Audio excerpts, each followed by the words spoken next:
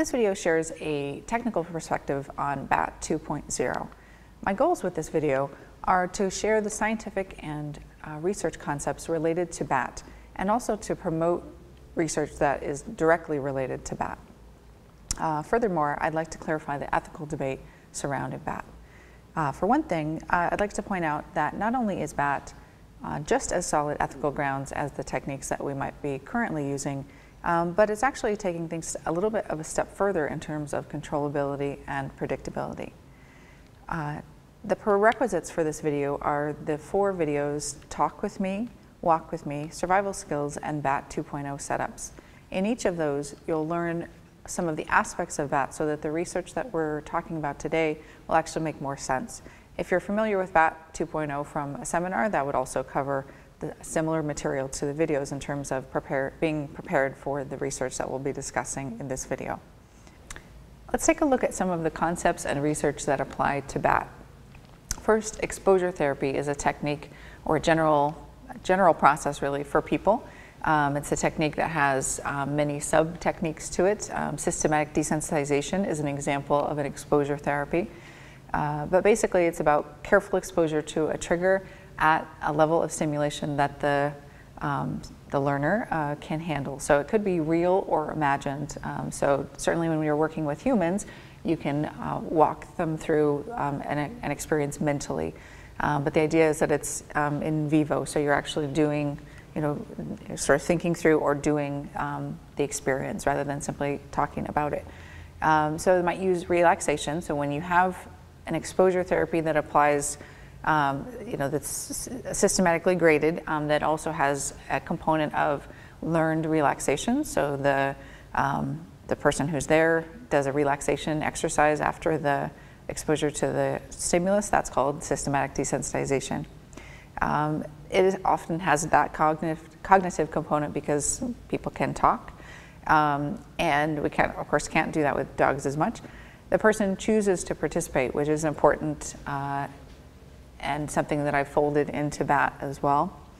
Uh, the concept of taking breaks, so if they reach a certain level of distress, um, it doesn't have to be huge at all, but um, the person can say, I'd like to take a break, leave the room, uh, if they're afraid of spiders or whatever. Um, it turns out that that doesn't um, make things worse. It doesn't create extra avoidance. It actually reduces the stress for the next uh, repetition of exposure.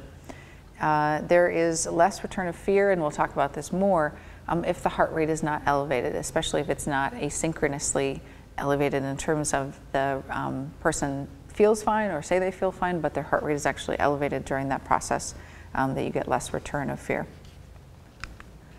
All right, so there's this concept of reconsolidation, uh, and there's a really good book called Unlocking the Emotional Brain, uh, and it, in that, it's basically that's a book for therapists, but it has a, a, nice description of reconsolidation. There's also good research articles on it.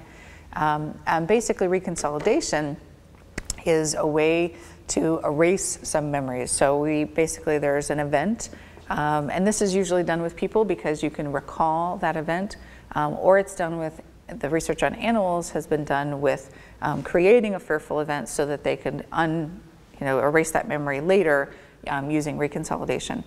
In terms of dog training, it's harder to apply because we can't access that original memory, so we can't recreate that situation in their heads. Um, but there may be some ways to do it, and I'd like us to think about it. Um, so basically, an event recalls that fear memory. This is how it works.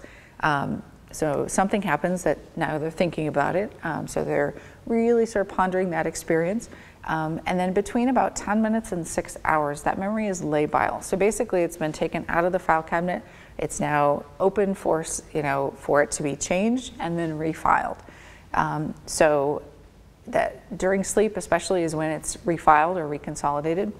Um, and basically the reconsolidation um, extinction will destabilize and overwrite that learning. So during that 10 minutes to six hours period, if you actually do some training, there's a possibility that we may be able to erase some memories um, or change uh, the content of that emotional memory.